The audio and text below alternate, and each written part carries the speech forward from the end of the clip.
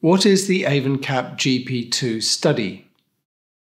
AvonCAP GP2 is a study about chest infections led by researchers at the University of Bristol and funded by Pfizer. New vaccines are being developed, and we want to understand how many chest infections could be prevented by vaccinations and what groups of patients might benefit the most. We cannot do this study without people like you taking part. So, who can take part? Adults who have contacted their GP with a possible chest infection or worsening of heart failure, asthma, or COPD can take part. What would taking part mean? Taking part is voluntary. This means it's completely up to you. If you agree to take part, we will collect some information about you from your GP record.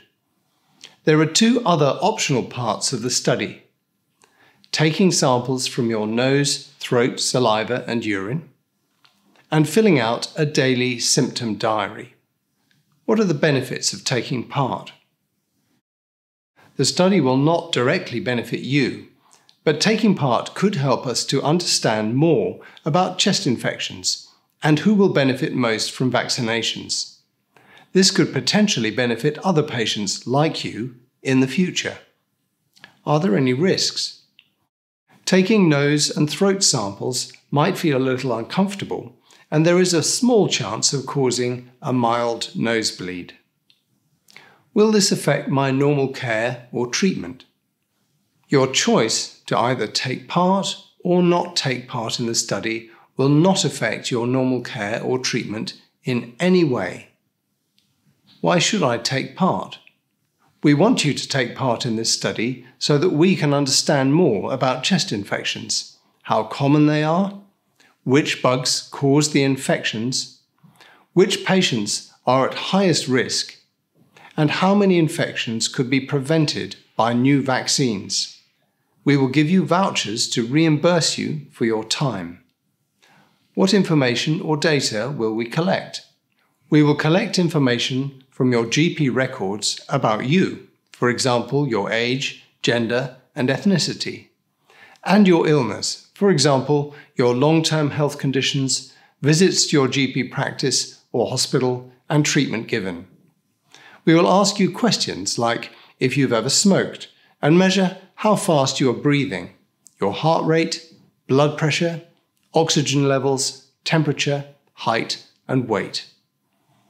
To find out which germ has caused your illness, we will take samples from your nose, throat, saliva, and urine. We will also ask you to fill out a diary about your illness every day until your symptoms are gone for up to 28 days. This should take no more than 5 minutes a day to complete. If you have ongoing symptoms, we'd like to follow you up every few weeks for up to 12 months. What will happen to my data? Who will access it?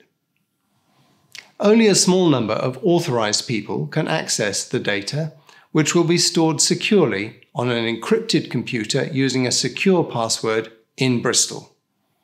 Your information will be stored on a database using a code number so that it's not possible to identify you.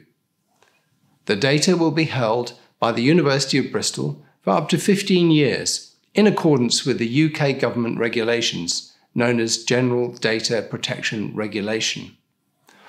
All research using patient data must follow UK laws and rules, and it is the duty of the researchers to protect the privacy of people who are taking part.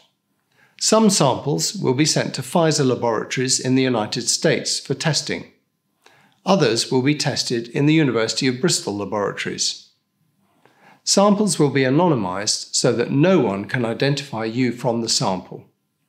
Samples will be stored for up to 15 years and may be used for additional vaccine related research, after which they will be destroyed. Any reports about the findings from this study will be written in a way that no one can identify who took part in the study. How do you get involved? We would love for you to take part in the study. To find out more, please contact the study team.